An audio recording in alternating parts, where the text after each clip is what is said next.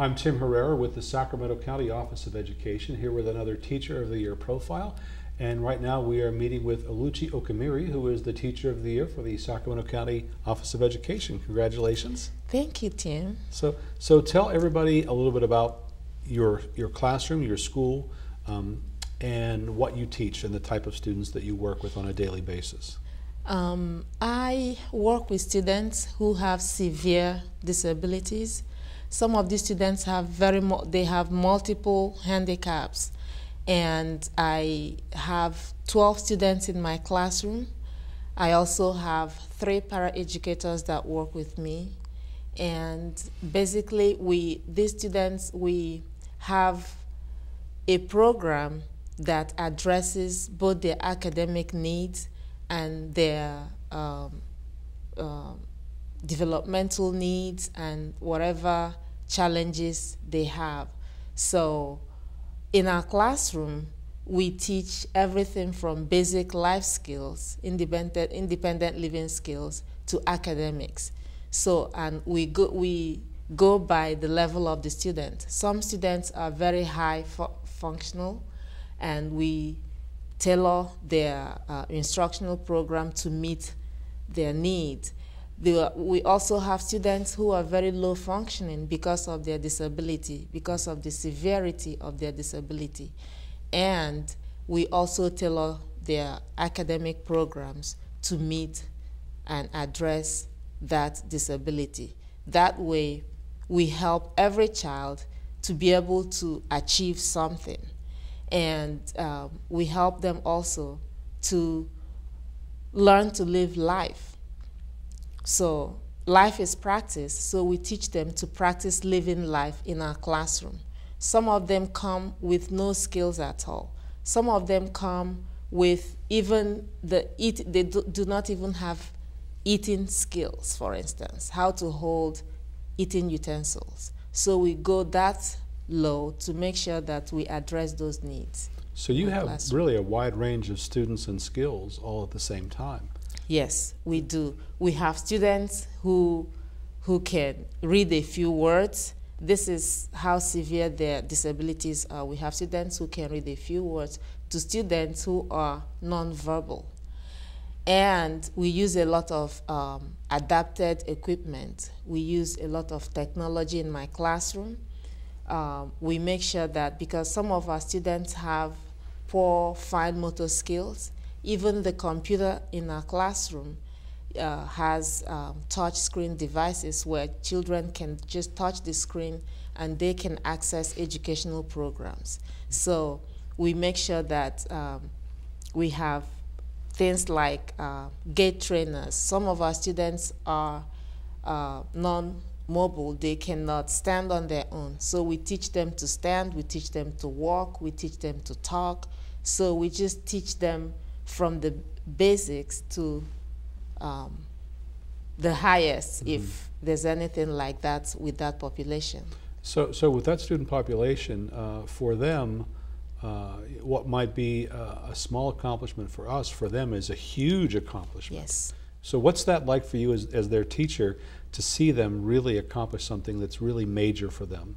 We have learned to celebrate every child. You know, since I started teaching in this classroom, I have seen I don't take anything for granted.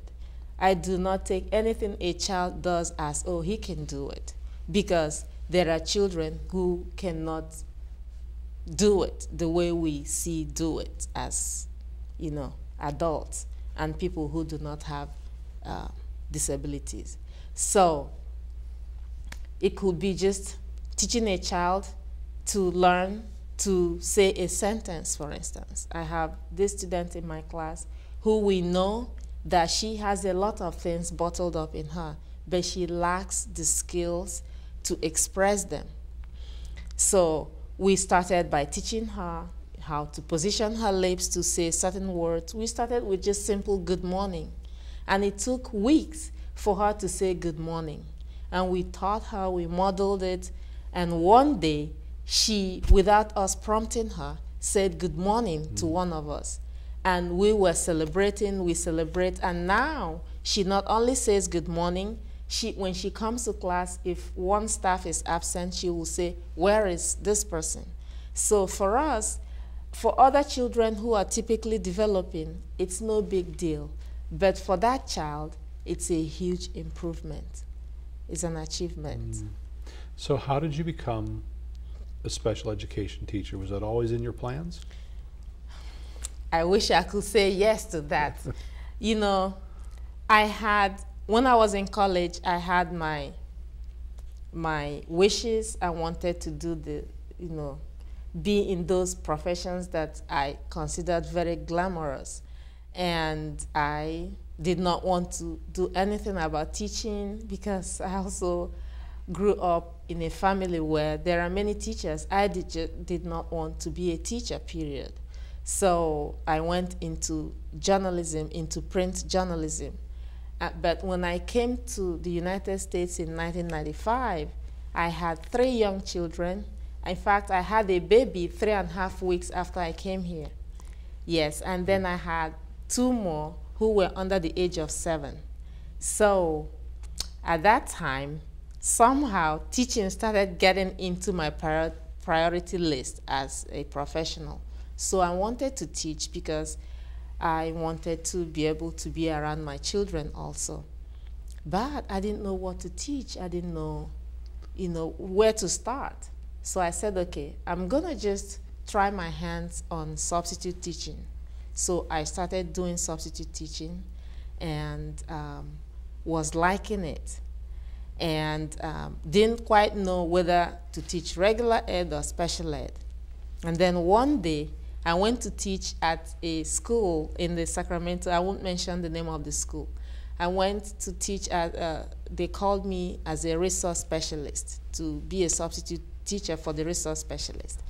And I went into the classroom for the first time. It's a pull-out program. It's kind of a learning center kind of uh, setting. So when I went in there, um, students came in groups. So this particular class came, the first group, and they did very well. I had no problem. And they left, and the next period, the second group came. And when they came, they were very rowdy. Mm -hmm. They wouldn't sit down. They wouldn't listen to me. I tried to call their attention. They wouldn't listen.